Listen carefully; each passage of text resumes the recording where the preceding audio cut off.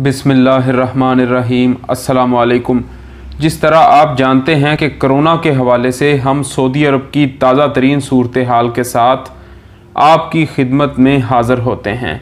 आपसे दरख्वास्त है कि हमारी वीडियो को लाइक करें, हमारे चैनल को सब्सक्राइब करें, बेल आइकॉन को प्रेस करें। हमारी वीडियो को व्हाट्सएप, फेसबुक और सोशल मीडिया पर ज़्यादा से ज़्यादा शेयर करें। आज 29 जून 2020 बरोज़ पीर को सऊदी अरब में तीन हज़ार नौ सौ तैंतालीस कोरोना के नए केसेस सामने आए। दो हज़ार अफराद सेहतियाब हुए, जबकि 48 अफराद इस मोजी मर्ज से आज के दिन हलाक हुए। सऊदी अरब में कोरोना के मरीजों की तादाद बढ़ रही है। कोरोना के मरीजों की तादाद में इजाफा परेशान कन है। मगर जिस तरह सऊदी हुकूमत बेहतरीन इकदाम कर रही है, जल्द ही इस मोजी मर्ज पर काबू पा लिया जाएगा।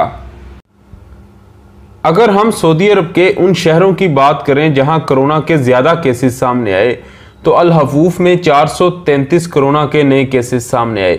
रियाज तीन सौ तिरसठ तीन सौ मक्का मकरमा दो सौ तिरसठ अलकतीफ़ दो सौ उन्नीस, जद्दा दो सौ बारह, ताइफ दो सौ आठ अलमुबरज़ एक सौ छियानवे, मदीना मुनवरा एक सौ उनहत्तर, अबहा एक सौ छियासठ, खमीस मशीद एक सौ चौंतीस, अलखबर एक सौ तीन हिफरुलबातन छियासी अजहरान छिहत्तर, अलजुबेल सतासठ, मुहल असीर इकसठ, बुरेदा उनसठ, हायल सत्तावन, सफवा उनचास, उनेज़ा चालीस और नजरान में उनतालीस कोरोना के नए केसेस सामने आए।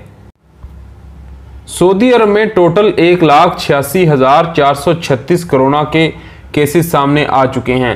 एक लाख सत्ताईस हज़ार एक सौ अठारह अफराद सेहतियाब हो चुके हैं।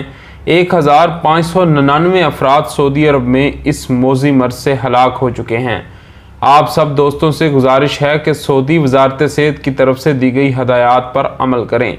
इसके साथ हमें इजाज़त दीजिए। आपके कीमती वक़्त का शुक्रिया। अल्लाह हाफिज़।